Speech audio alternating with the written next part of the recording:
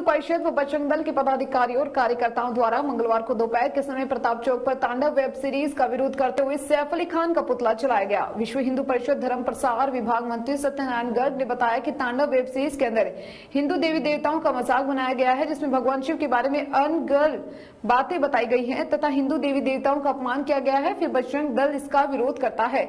उन्होंने चेतावनी दी कि उक्त निर्देशक प्रोड्यूसर के खिलाफ उचित कानूनी कार्रवाई की जाए। जिंदाबाद! जिंदाबाद! इस वक्त हिंदू समाज बहुत आक्रोशित है।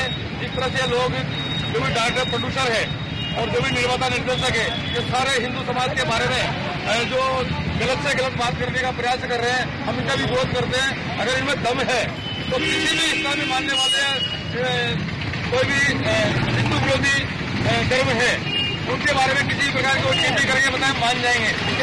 हिंदू हिंदू समाज के बारे में कुछ भी कुछ भी कह रहे थे क्योंकि हिंदू समाज एक सीधा साधा समाज है। हमारे तांडव फ़िल्म के अंदर है भगवान सांडा तांडव। फ़िल्म के अंदर भगवान शिव शिव का अपमान किया गया है।